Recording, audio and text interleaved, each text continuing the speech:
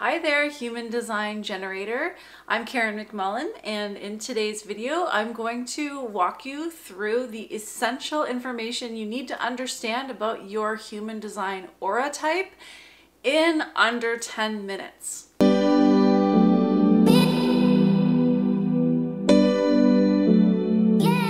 So what makes a generator a generator? Generators have a defined sacral center. This will be the second center from the bottom in your chart. It will be colored in. This means that this center is something reliable and dependable about who you are and how you operate in the world. 70% of people on the planet have this center defined, which means that we live in a generator world and that you're surrounded by generators. Now, sometimes people don't resonate with the idea of being a generator because so many other people are generators. But this really doesn't have anything to do with how unique you are because there are so many other factors in your chart that show up as uniqueness. When we're talking about your type, we're talking about what type of aura do you have meaning that your presence doesn't just stop here at your body, it actually extends out from beyond you and that this aura that you have has certain properties that you can learn to understand and honor that will make it easier for you to navigate your life. The generator aura is open, enveloping, and attractive. It's open, meaning that generators don't have a barrier between themselves and especially other generators, they can really come together, they can meld, they can be close, and that's a beautiful thing. There's this also enveloping quality of the aura. It, um, surrounds and embraces whatever it's encountering.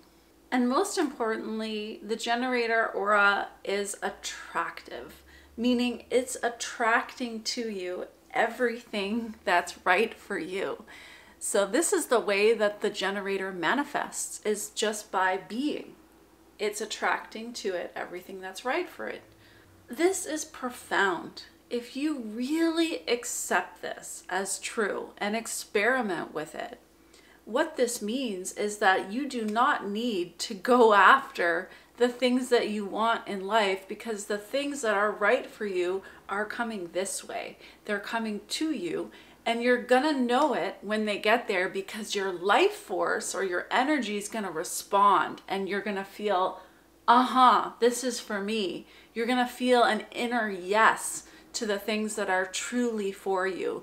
You're going to have more energy and aliveness that comes to you in response to the things that are right to you.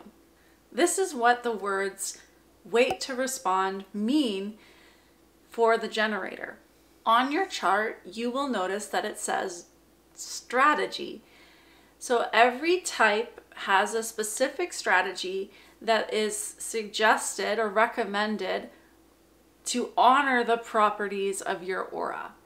And since the one of the main properties of the generator aura is that it's attracting to it everything that's right for it, it means that you're not here to go after things that you want. You're not here to initiate and try to make things happen.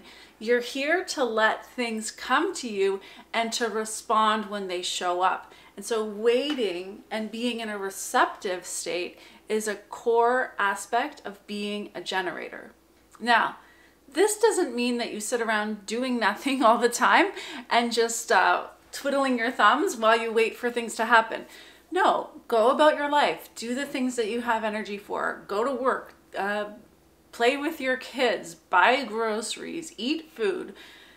Work out. Do the things that, that are your things that you do. And so the wait to respond cue is more about how you navigate starting things and what you're devoting your energy to. This leads us to the next point, which is that as a generator, you have a defined sacral center. The sacral center represents things like life force energy. It's life force that multiplies, that when you use your life force well, it expands, it grows, it creates It is the essence of creativity, such as making babies, working, building things. When you use your life force well, it will regenerate. For example, it wouldn't be uncommon for a generator to have plenty of energy to go skiing in the morning and then to go and work and then to play with their kids and then to go and do some grocery shopping and then at the end of the day just kind of be exhausted, go to bed and wake up the next day with energy regenerated because the day before they really used their energy well. As a generator, the most important thing is for you to be using your life force energy well. And how will you know if you're using your life force energy well? You will feel satisfied. Satisfaction is the signature of the generator when they're using their energy in the way that it is intended to be used. In contrast, you'll know that you're not using your life force well. Another way to say that would be that you're abusing your life force if you're feeling frustrated. Frustration is the not self theme of the generator, which means that that's the sign that you are not using your energy for the intended use of why you are here. The idea here is that generators will have a lot of energy for the things that they resonate with, and they will have little to no energy for the things that they don't resonate with. And depending on who you are, your energy could be quite specific about what you resonate with. Generators are known as the worker bees and the doers and the builders, but I would like to just say that that's not always the case. You you could be a generator and only have energy for very specific things. And from the outside perspective, you might even seem lazy because you're not wanting to do um, much else other than the things that you have energy for. The amount of energy that you have and the way that you work is also going to be influenced by other aspects of your design, such as whether you have a defined or undefined root center, for example.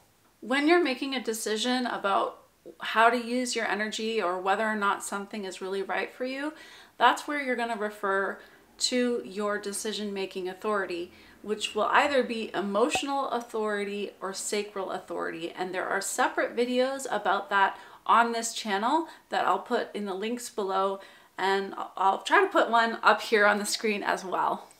In closing, I'd like to say that a core theme for generators is about are you using your energy correctly? And when you're not using your energy correctly for what you're really here for, you are a slave.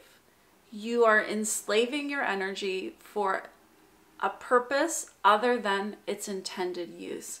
And most generators on our planet right now are operating from a frequency of enslavement and disempowerment, which means that they're not really being honest with themselves about what they truly want to be doing, what they really have energy for.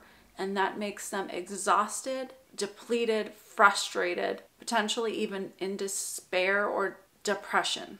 So I encourage you, after watching this video, to be honest with yourself about what you have energy for and to go forward and experiment with what is my life force energy, my sacral gut center really saying to me and listen. Listen to what makes you feel satisfied and listen to what makes you feel frustrated. Pay attention to the use of your life force energy and let that guide you as you move forward. There's a much longer, more in-depth video about the generator on my channel. I definitely encourage you to check it out and really get a full sense of this. Please subscribe to the channel to support me in creating this content.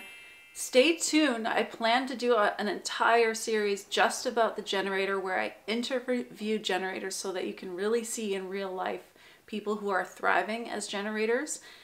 Give this video a like, thumbs up if you resonated. Thanks so much for watching. I can't wait to share with you more content about human design. Take care.